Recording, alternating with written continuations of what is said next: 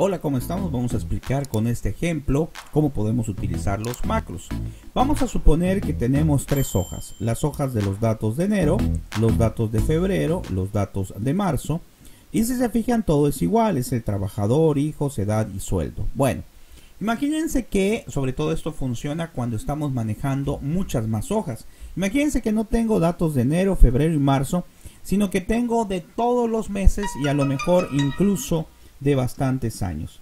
¿Qué vamos a hacer con los macros? Vean qué interesante. Un macro es hacer una secuencia de pasos que queda grabada y cuando yo ejecute ese macro en otra hoja me va a hacer lo mismo. Entonces vamos a suponer que me dicen, ¿sabes qué? Yo quiero que esto lo modifiques, que lo combines, que le pongas color, que le pongas la anchura correcta, que le pongas los formatos correctos.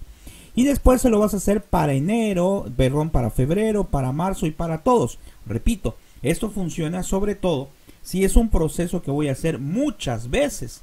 Ahí voy a tener una gran ventaja si utilizo macro. Bueno, ¿qué vamos a ver? Hacer? Nos vamos a posicionar en lo que es el primero, que es el que me va a servir para grabar el macro, es decir, la secuencia de pasos. Me voy a ir a buscar aquí a ver si tengo una opción que se llama programador si no tengo programador o alguna equivalencia, pues bueno, voy a tenerlo que ir a buscar. Me voy a ir a archivo, me voy a ir a lo que es la opción de opciones propiamente. Y aquí me van a aparecer las opciones que tiene Excel. En este caso voy a manejar personalizar cinta de opciones, que es precisamente esta. Miren, la cinta de opciones es la que está aquí arriba. Y acceso rápido es esta de acá que utilizamos anteriormente. Vamos a darle cinta de opciones y vamos a buscar uno que se llama programador, pero que también puede aparecer como desarrollador. Entonces es importante que lo tomes en cuenta. Le voy a dar clic aquí en programador para activarlo. Y una vez que ya está activo va a aparecer aquí precisamente en lo que son mi cinta de opciones. Le voy a dar a aceptar y vean ya apareció programador. Perfecto. Me voy aquí al principio y me voy a ir a programador. Y aquí hay una opción que se llama macros que es el uso o la pestaña de códigos. Vamos a grabar un macro. Fíjense qué interesante. Ahorita lo que voy a hacer va a quedar registrado en un programa de visual que no tengo yo que saber programación necesariamente, pero que me va a almacenar esa información para usarlo posteriormente en alguna otra parte, en otro, en otro, en otra hoja del mismo libro, por ejemplo. Bueno, ahora vamos a generar ya lo que es el macro. ¿Qué vamos a ver? Después de haber introducido ya correctamente lo que es la barra de programador que está acá, después del programador voy a crear mi macro. Dijimos que un macro es una secuencia de pasos.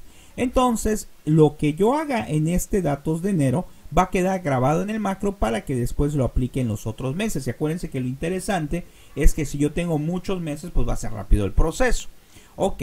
Entonces vamos a hacer los cambios que correspondan. Nos vamos a programador. Aquí le doy grabar macro y a continuación le voy a poner el nombre. Vamos a pensar que es un macro donde voy a ponerle yo formato, formato, vamos a ponerle formato de eh, formato de los datos. Ok, aquí va a haber un problema porque me va a marcar error porque estoy, no estoy dejando eh, no estoy uniendo lo que son los textos, estoy dejando formato o espacios en blanco en el texto, entonces voy a tener problemas. Aquí yo escojo este libro. Lo más común es que sea en este libro para que me permita aplicarlo en las demás hojas. Puede ser en un libro nuevo, si quiero aplicarlo en otro libro, o el Macros personal. Este es útil cuando lo van a aplicar ustedes en otros archivos, ¿verdad? Vamos a suponer que nada más es en este libro, le doy a aceptar ¿verdad? Me marca error por lo que acabo de comentar. Voy a juntar aquí lo que son los espacios, que no exista espacio en blanco y ahora sí ya quedó. Ahora el macro va a ir grabando secuencia, pero no hay prisa. O sea, ahorita no estoy haciendo nada, entonces no está grabando nada. Lo que va a grabar son los pasos. Cuando yo me ponga a hacer los pasos, quiere decir que ya va a empezar a grabar y al final voy a tener que dar aquí, aquí en detener grabación. Tengo que analizar antes qué quiero aplicar porque lo voy a aplicar acá y posteriormente con el macro lo voy a aplicar en otras hojas. Entonces a mí se me ocurre que voy a ampliar acá y voy a realizar por ejemplo una combinación perfecto y lo voy a mandar al centrado. Así quiero que tenga y que siempre aparezca en negrita como aquí ya estaba y en color rojo. También quiero a lo mejor mandar estos títulos al centro y se me ocurre aplicar formatos. ¿Qué formatos? Pues voy a agarrar esto y lo que voy a hacer es aplicarle, como es un sueldo, un formato moneda. Otra situación interesante es ajustar, nada más que aquí hay que tener cuidado porque puede ser que cuando yo aplique el macro en los otros, a lo mejor si lo metí, si ajusté mucho aquí, pues no va a quedar bien. Entonces hay que dejarle un cierto espacio. Aquí en hijos, pues como nada más es un dígito no hay problema. En edad como son dos dígitos, pues tampoco hay problema. Y aquí en sueldo, pues puedo reducir también. Ahí está. Y vamos a suponer que además le quiero agregar algo más.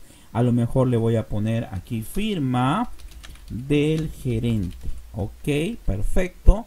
Y voy a, para que quede mejor, lo voy a combinar. Voy a hacer el proceso de combinar y centrar. Ya está. Vamos a pensar que esto es lo que yo quiero que aparezca precisamente en los demás. Vamos a agregarle una cosita más que se me ocurre que es ponerle para la firma. Ahora voy a detener el macro, me voy a programar le voy a decir detener macro y ya se detuvo, perfecto. Muy bien, ya tenemos entonces grabado el macro, ahora lo que voy a hacer es ejecutarlo.